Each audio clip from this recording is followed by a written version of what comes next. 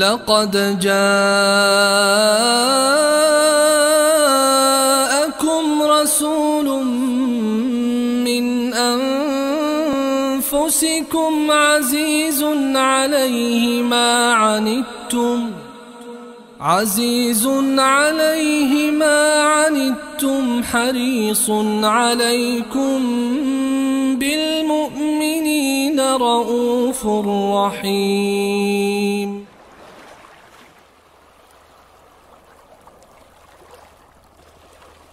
Assalamu alaikum wa rahmatullahi wa barakatuh.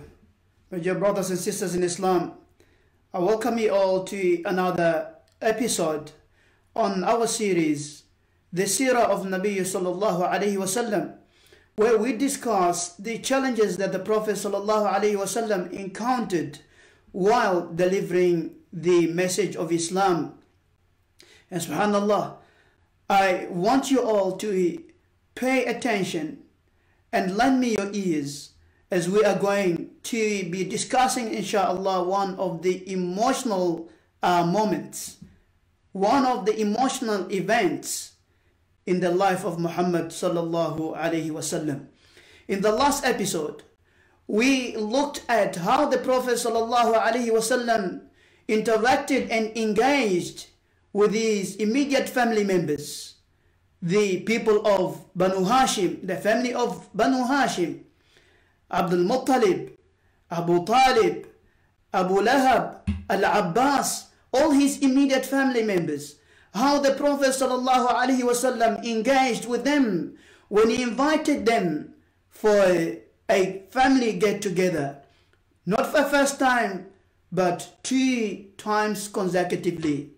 And the intention of the Prophet ﷺ to mobilize his family members together was to get and gain their support. But subhanallah, it was quite disappointing for the Prophet ﷺ to see how his immediate family members let him down. With an exemption of two people. His uncle Abu Talib, he promised 100% support to Muhammad sallallahu alaihi wasallam, but not following the message of Muhammad alayhi salatu as well as his young cousin Ali radiallahu anhu, he declared and proclaimed his allegiance to Muhammad sallallahu alaihi wasallam, but also declared his shahada.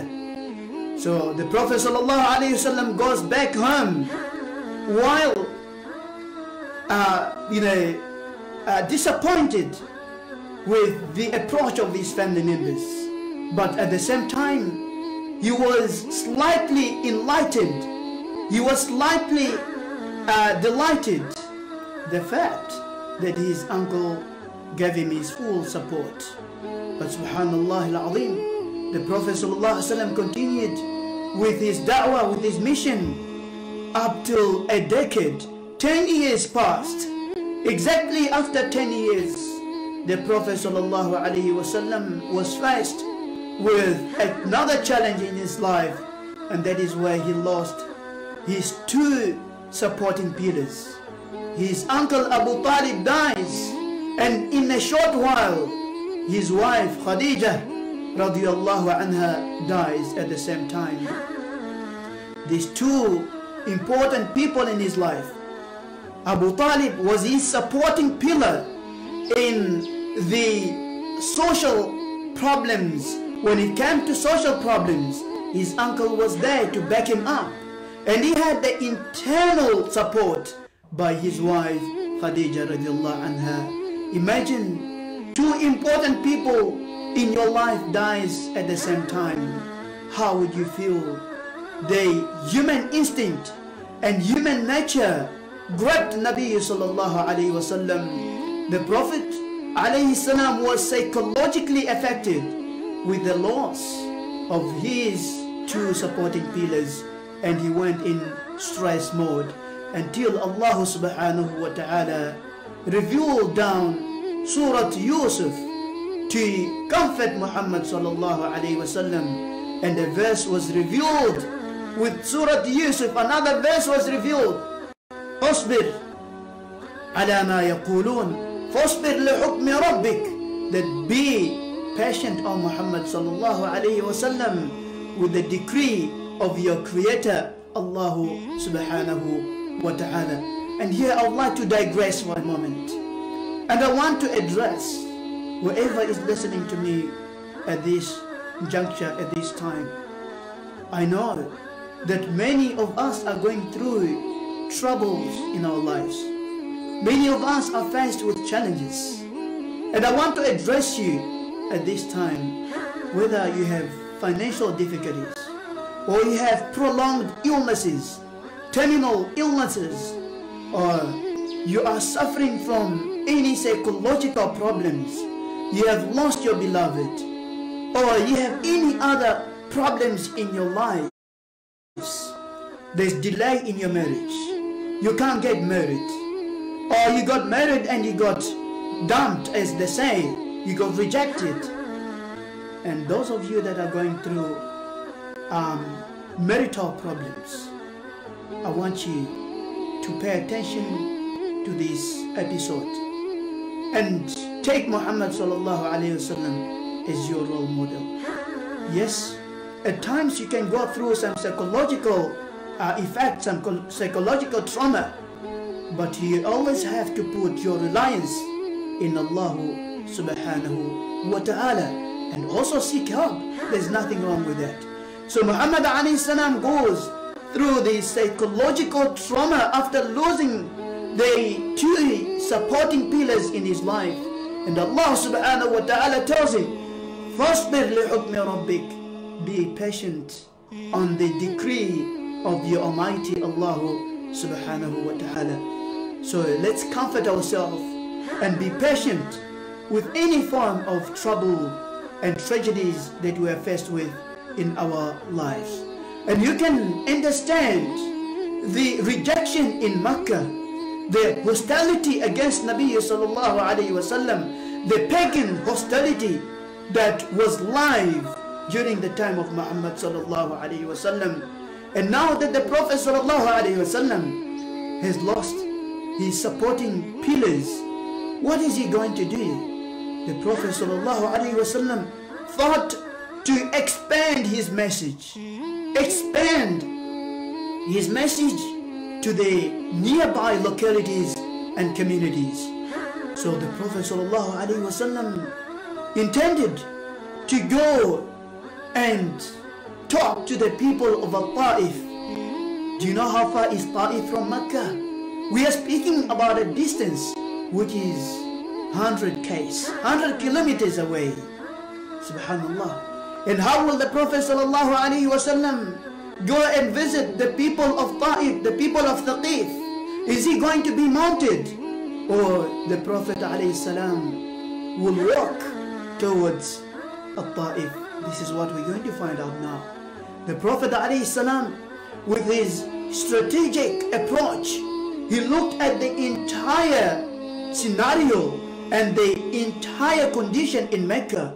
The Meccans were vigilant and they were spotting him and following him every step and every corner and every street. So the Prophet ﷺ thought to himself that if I go to Ta'if mounted, then the Quraysh will assume that I am escaping. I want to go out of Mecca and I want to go and mobilize and come back with a huge army. And hence I'll be ambushed. So the Prophet ﷺ thought that it would be an ideally for him to leave Mecca and go to Taif on his foot. And he did not take Abu Bakr with him, neither did he take any of the prominent Sahaba. He chose someone younger to accompany him on this journey, and that was his adopted son, Zayd bin Haritha, the Abyssinian Sahabi. Zayd, the only Sahabi that is mentioned in the Holy Quran. He accompanied him, and they walked through the mountainous path, a rocky path, subhanallah, rocky path that you might have seen the rocks of Arabia, Those of you that have visited, uh, you know, Sa- Al-Mamlaka, you've went there for probably for Umrah or for Hajj. It's all rocky and mountainous area. The Prophet sallallahu alaihi wasallam walks through these mountains and heading towards At-Ta'if. How long did it take him to arrive in At-Ta'if? Four days. He walks four days, subhanallah, through these difficult paths. As he arrives in At-Ta'if, who is he going to talk to? Is he going to summon all the people of Ta'if like he did with the people in Mecca when he spoke to them at the Safa? No. The Prophet ﷺ is not going to summon all of them and talk to them collectively. But he will go to the key people, the leaders and the chief chiefs of Thaqif. So he goes to the first one, subhanallah, and he presents the message of Islam to him. And he tells him that I am a messenger of Allah. I've come to take you out of this darkness to the light. And that light is mannerism. That light is equal opportunity. That light is, you know, respect and, you know, honoring women and honoring the baby daughters, the baby girls. Subhanallah. Do you know what was the response of the first chief of Al-Thaqif that the Prophet ﷺ engaged with? He says to him that if you claim to be a messenger of Allah, if you claim to be the final messenger of Allah, then ye should be more superior than me. How could you talk to people that are lower than you? You need to find better audience to engage with and not me.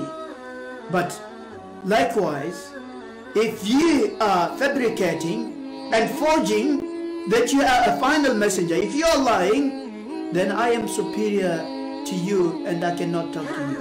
Subhanallah. What type of arrogance that these people had and their hostility towards Muhammad sallallahu alayhi wasallam. The Prophet says, well, I can't force him. He goes to the second chief and again he engages with the second chief of At-Taqif and he tells him that I am a messenger of Allah except the oneness of Allah subhanahu wa ta'ala.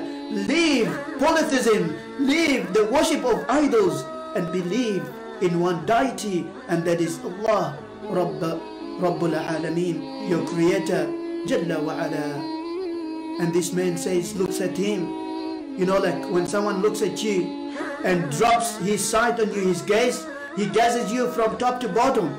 A gesture of humiliation. And he says, What are you here for?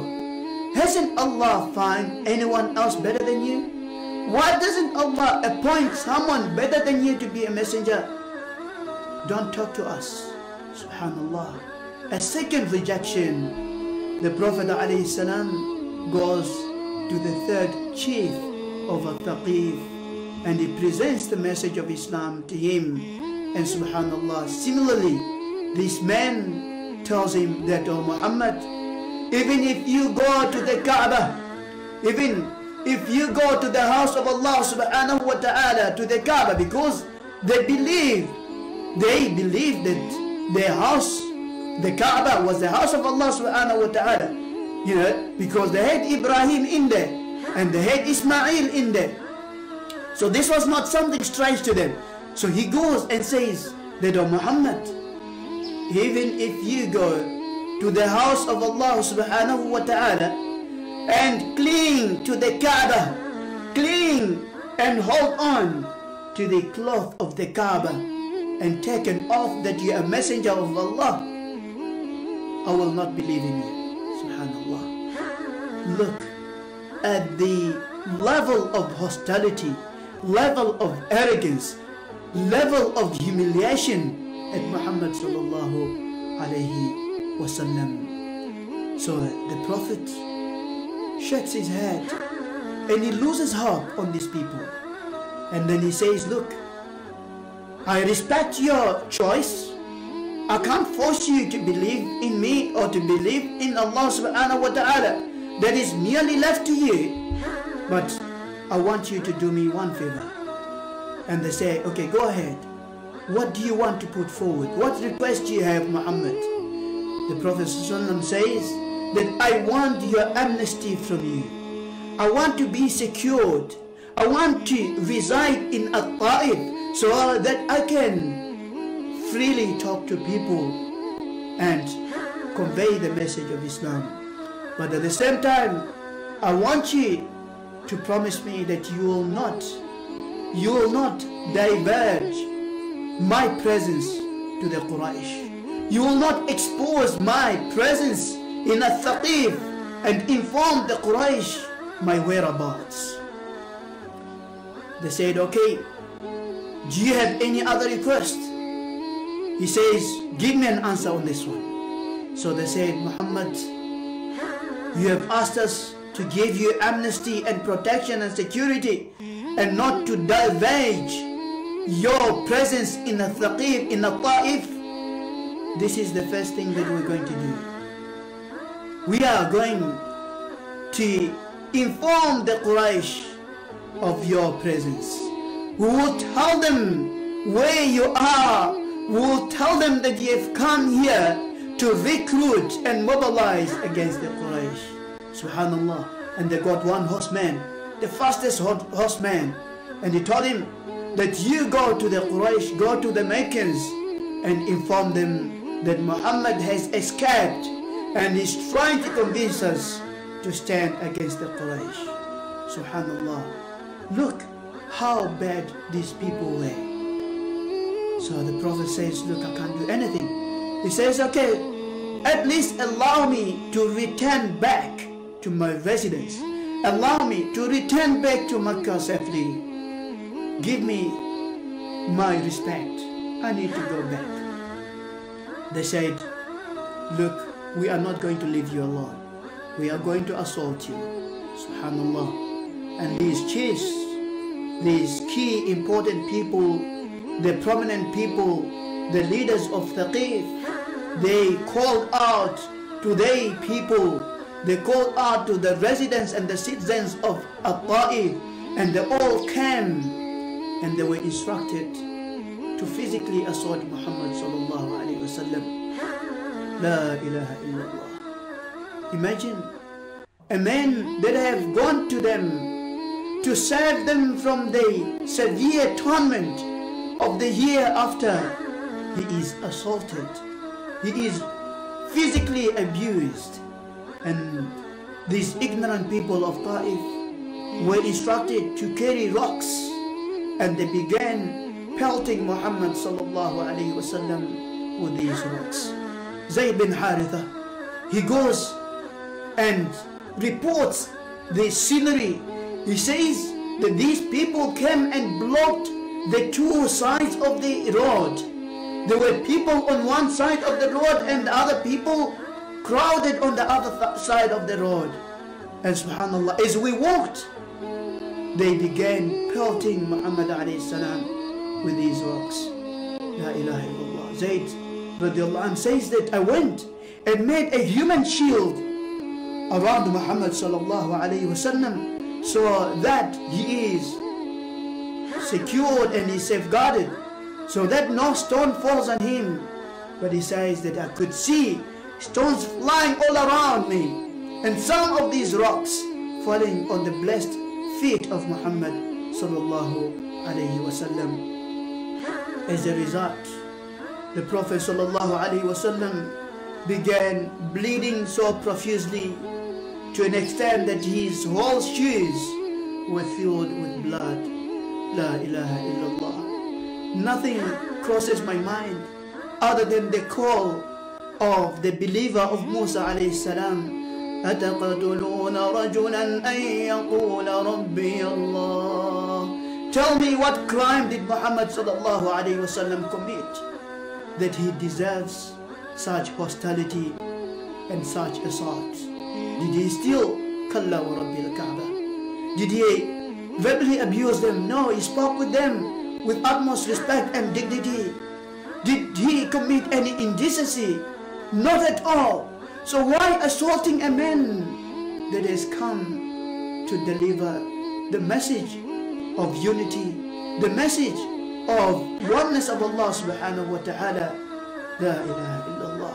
Muhammad sallallahu alayhi wasallam is pelted and is bleeding. As he walks alayhi salatu wasalam, he tries to walk, escape, could hardly walk. A man is bleeding, could hardly walk. They continued pelting him with these rocks. And Zayd bin Haritha continues to report that we walked a distance and we came across an orchard farm. There was a farm full of orchards, palm trees, and the Prophet wasallam entered in this farm, in this orchard farm. He sat down.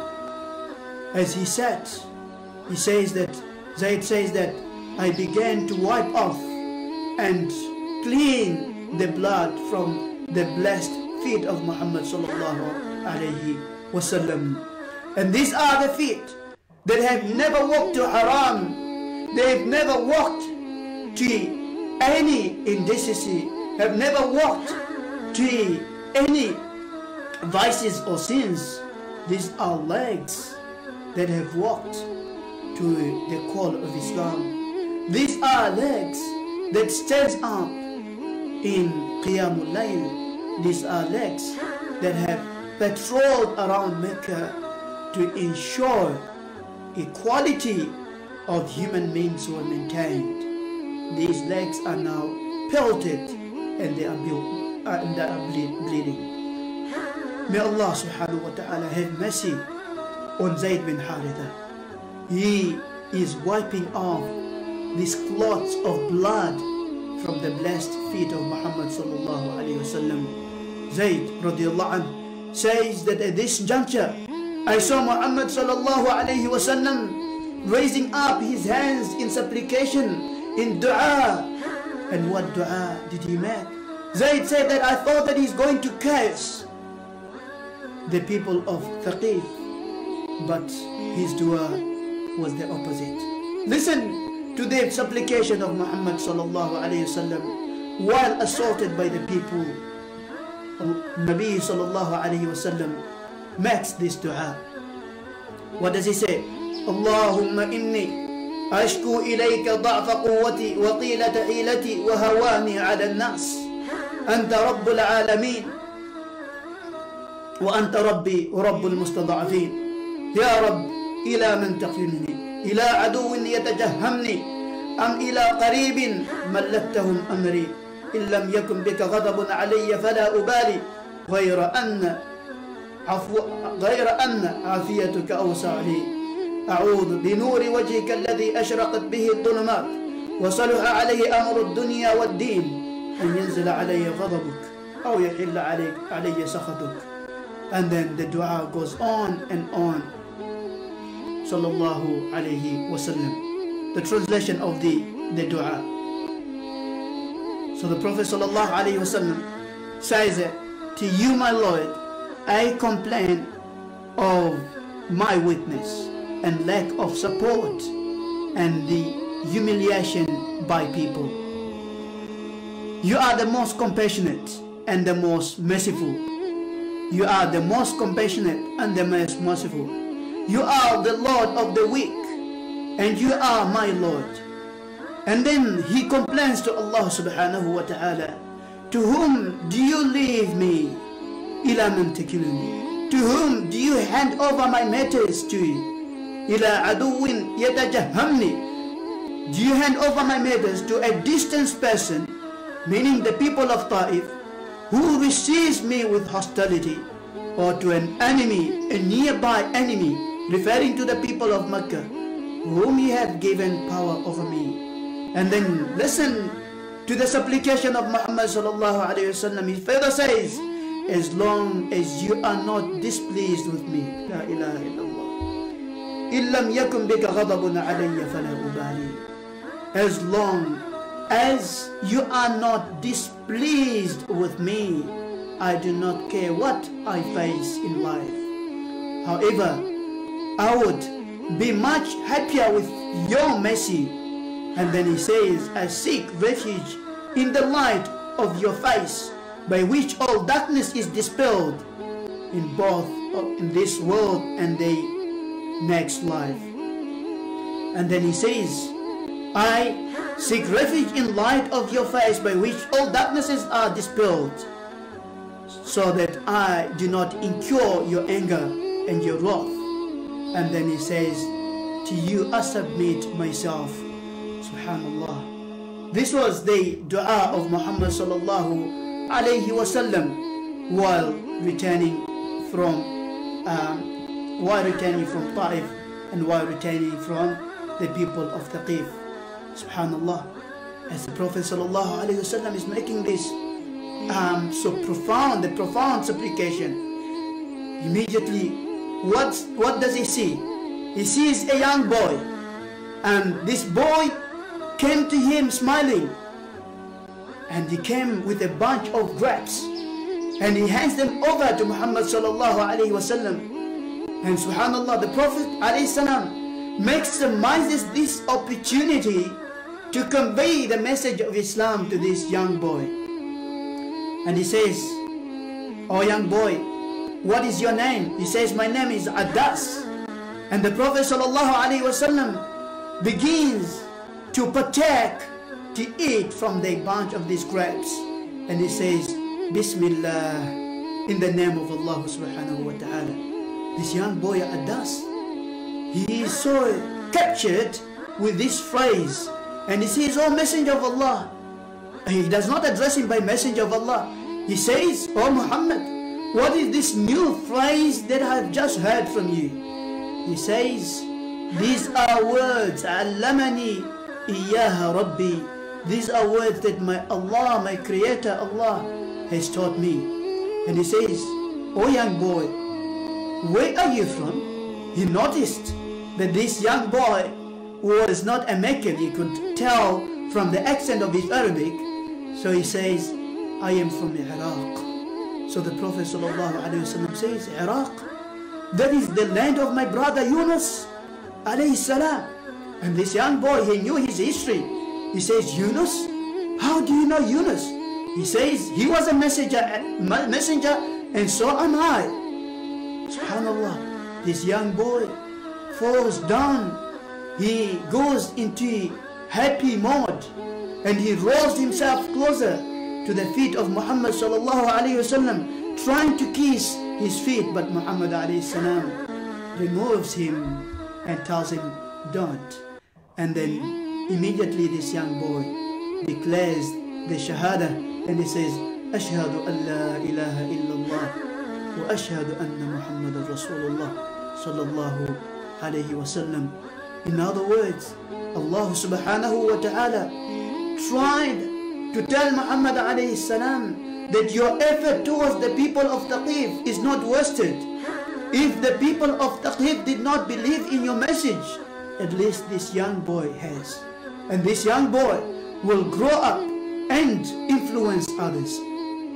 But the point of reflection before we move on, my dear brothers and sisters in Islam, I want you to reflect on the dua of Muhammad sallallahu alayhi. What does he say? He says to Allah while supplicating and says to Allah that as long as you are not displeased with me, I don't care what I face in life. La ilaha illallah. And he says, لَكَ الْعُتْبَى That I seek my apology from you, Allah. And you know why the Prophet ﷺ is saying these words? Because he's showing his utmost humility in the sight of Allah subhanahu wa ta'ala. He did not commit any error by going to the people of Ta'if and asking them to embrace Islam. He was only sharing the message of Islam to them. But here the Prophet ﷺ is seeking an apology, an appeal of forgiveness from Allah subhanahu wa ta'ala. لَكَ الْعُتْبَى I seek my apology from you, Ya Allah. I want you to think for a moment. How many times do we go against the injunctions and the laws of Allah subhanahu wa ta'ala and we feel so secured. We do not make it a point in our life to repent to Allah subhanahu wa ta'ala. All those people that are living their lives in vices and sins, they are living their lives in riba, interest and usury, living their lives in alcoholism, drug abuse, fornication. Have you ever thought the time has now come that you need to reconcile with Allah subhanahu wa ta'ala? Learn from the practice of Muhammad sallallahu alayhi wasallam. He is victimized, assaulted, physically abused and is bleeding. But he's saying to Allah subhanahu wa ta'ala that لك العتبى حتى ترضى لك العتبى حتى ترضى إن لم يكن بك غضب علي فلا أبالي If you are not angry at me then everything else does not matter to me Subhanallah We think that everything is important to us while we are displeasing Allah subhanahu wa ta'ala Time has come that we need to return back to Allah subhanahu wa ta'ala through our tawbah and istighfar. Zayd bin Haritha says that not long after Nabi sallallahu alayhi wasallam had this conversation with the Addas, I noticed that Muhammad sallallahu wanted to get up and immediately his face turned and he started communicating with angel Jibra'il. Jibra'il alayhi salam came to Muhammad sallallahu alayhi wasallam but this is a different visit all the times Jibreel alayhi salam comes to Muhammad sallallahu alayhi wasallam by himself. But at this time, given the fact that Muhammad sallallahu alayhi wasallam is victimized and assaulted, he came with an additional angel. And this was the angel of the mountain. So Jibreel alayhi salam gives salam to Muhammad alayhi salam. And the Prophet alayhi salam responds to the beautiful greeting of Jibreel alayhi salam. And thereafter Jibreel says, that, oh Muhammad, والسلام, I am accompanied by an angel, and this angel is responsible of mountains, and he wants to address you. And the angel of the mountain tells Muhammad السلام, that, oh messenger, we know what have happened to you. We have witnessed your assault. And subhanAllah, this is a point of reflection. When you are going through hardship in life, do not think that you are by yourself. Allah subhanahu wa ta'ala is watching. Allah subhanahu wa ta'ala is there. So turn to Allah subhanahu wa ta'ala in sincerity. Look, the dua of Muhammad sallallahu alayhi wa sallam unlocked the heavens and caused Jibreel alayhi salam to descend with the angel of the mountains. So when you are hurt, these are possible times for you to get your du'as answered. So this angel of mountain says to Muhammad salam that if you command me, if you instruct me, I will cause these two mountains to crash over the people of Thaqif and they will be doomed. Subhanallah. Look how Muhammad alayhi responded to this angel of the mountain. Did he uh, agree to his offer. The Prophet ﷺ was so patient and he endured the pain and he persevered and he did the people of Taqif a big favor. What he said, لعل الله يخرج من أصلابهم من يقول لا إله إلا الله سبحان الله Such was the message of Muhammad sallallahu alaihi wasallam.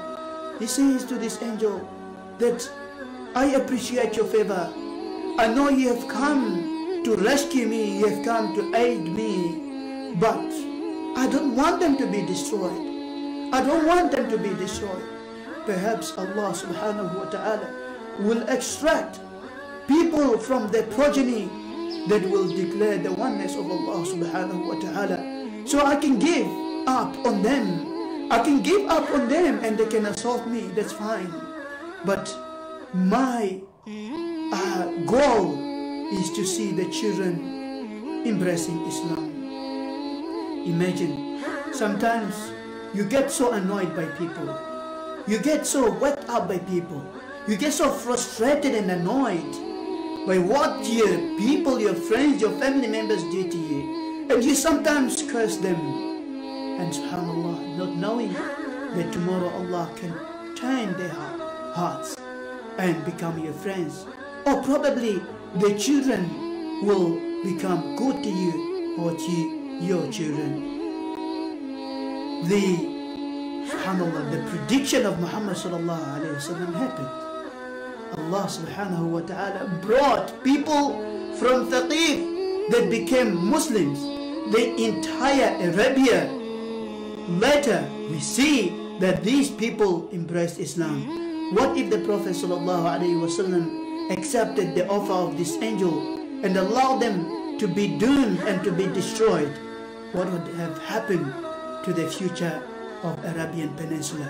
Subhanallah my dear brothers and sisters in Islam, the whole purpose of this series is for us to learn lesson and take Muhammad sallallahu alaihi wasallam as our role model because yes we can we do not go through some challenges but sometimes we are faced with challenges in our lives so if you reflect on the biography of Muhammad sallallahu alaihi wasallam this will become a compass in your life that will direct you towards right direction. The Prophet ﷺ now continues to walk back to uh, to Mecca, and this was four days journey. And you know how old was the Prophet ﷺ at this time? He was 52 years old. Four days journey, four days to go, and four days to come back. He walks as he gets closer to the house of Allah subhanahu wa ta'ala, to the Kaaba, Subhanallah. And it was at night, during the early hours of the morning, the Prophet sallallahu alaihi wasallam engaged in Qiyamul Layl. Ya Allah, what a beautiful lesson. He is hurt, he is bleeding, and he is in pain, severe pain, but he goes and engages in Qiyamul Layl, night prayers. And this was in the confirmation of the verse of Allah subhanahu wa ta'ala in Surah Al-Inshirah.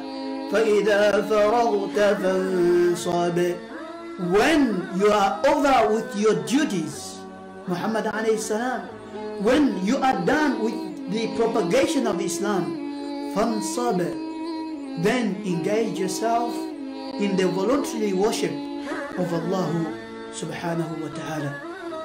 And here I want to ask you another question all of the all of you that become reluctant in salah you become so lazy with your prayers and you have all these excuses because I am working. And here I'm talking to all those professionals doctors that exhaust hours in their uh, workforces. And they get back home tired.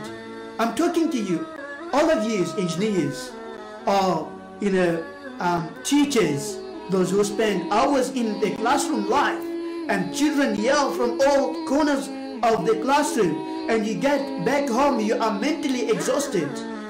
Subhanallah. When time of prayer comes then you have excuses. Um, I am tired I need time. I need to you know to rest. And uh, give me some time I need to rest. Like you see this uh, young you know this young boy. We have these yeah, you know, young people in, in our communities. They are so energetic. They go to the gym.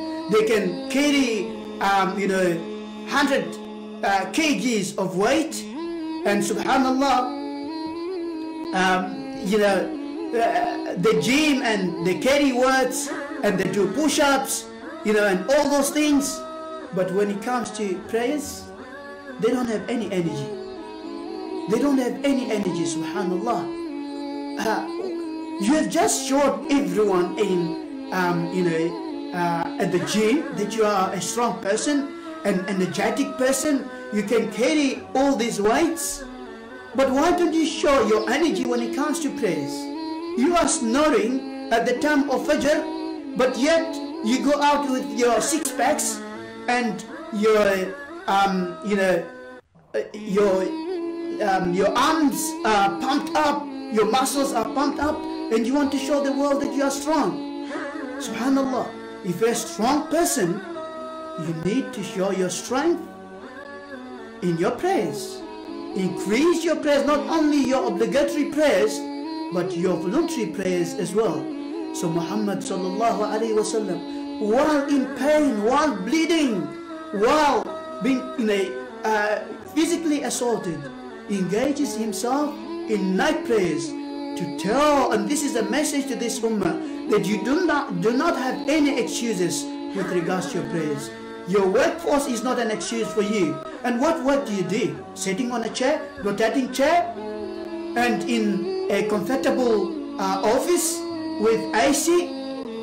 Not denying that some people are not doing physical work. We see people that are doing physical work. But can you imagine being assaulted and bleeding, hurt, and also standing up in night prayers?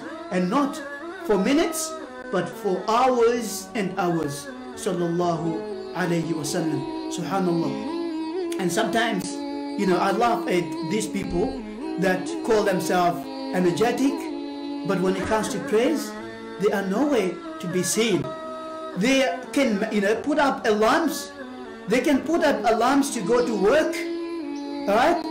They can put up their alarms to go to work and wake up so early in the morning. But subhanallah, when it comes to praise, they are they turn off their alarms. Turn off their alarms. And we have these, you know, cheap excuses. No, my I couldn't hear my alarm. Brother, sister, but who wakes you up to go to work?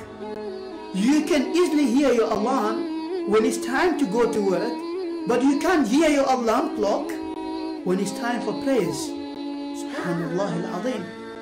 Yes, you can say, uh, devil, and hadith is there of course that the devil come and tie those three knots as is mentioned in Al-Bukhari, right? But you need to untie those knots. You should have this resolution in your life that from today onwards, I am not going to miss any praise. If my Messenger wasallam stood up for hours and hours in night prayers, what will stop me?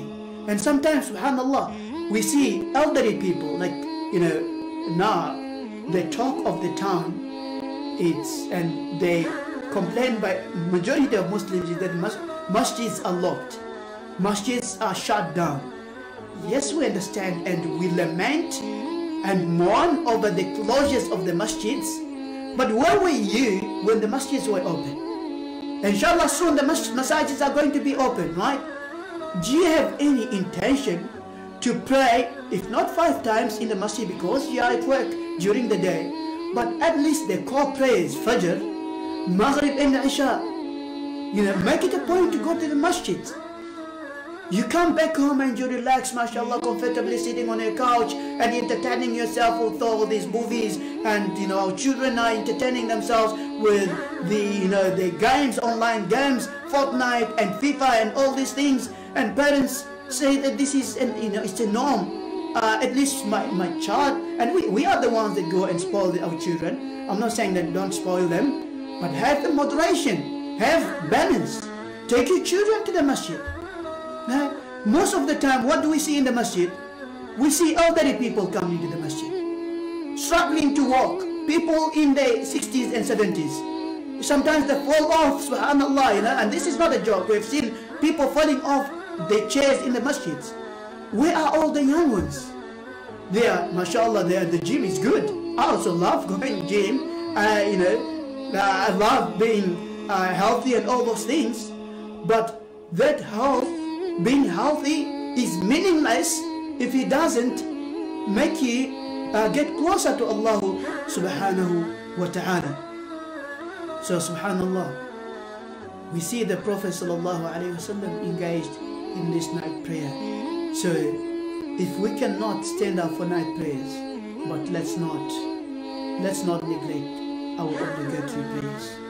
If we cannot get up for Qiyamul Layl, let's make it a point that the 12 voluntary prayers will never miss in our life, inshallah. With this, inshallah, we conclude and we'll continue in our next episode.